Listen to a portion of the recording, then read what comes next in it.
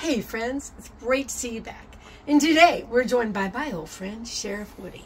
Now, if you have seen the Toy Story movies or read the books, you know that Sheriff Woody is just an all-around great guy. He looks after his friends, both toy friends and human friends. But one thing you may not have noticed about Sheriff Woody is that even though, excuse me, he's a sheriff, he wears a sheriff outfit, including the star and the gun belt and the holster, he never wears a gun.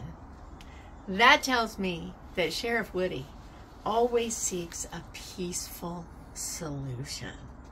Well, you know, you and I are not Sheriff Woody. In fact, we're not sheriffs at all, most of us. But we may not ever be tempted to use violence to solve a conflict, but sometimes we do. Resort to harsh words and judgments, and we might even say some, some things that we regret later. But you know what? We can be like Sheriff Woody. We can seek a non-violent solution to problems. And there's some mudra and some breathing that can help with that. Hey, Woody, can I put you down for just a minute so people can see both my hands? Is that okay? Yeah? Okay. So I'm going to put Sheriff Woody right there. This is a mudra we've done before, but it's been quite some time. To do it, this is Padma.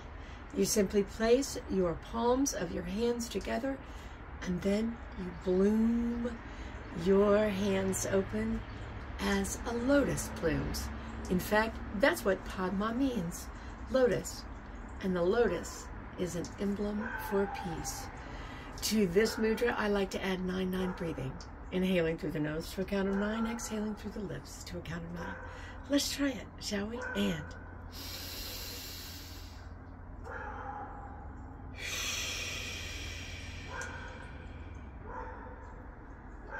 Yes. And you can do this mudra and this breathing as frequently as you would like and as many repetitions as you would like. So I hope sometime, if you're tempted to try and settle a disagreement or an argument with harshness or even worse, that you'll remember this mudra and this breathing and take the path of peace. Well, Woody, thank you for joining us today. You know, it's time to wave goodbye to our friends at home. Would you like to wave? Yeah? Bye-bye, friends. Friend Sheriff Woody and I hope you have a great rest of the day. And we'll see you again soon. Bye-bye.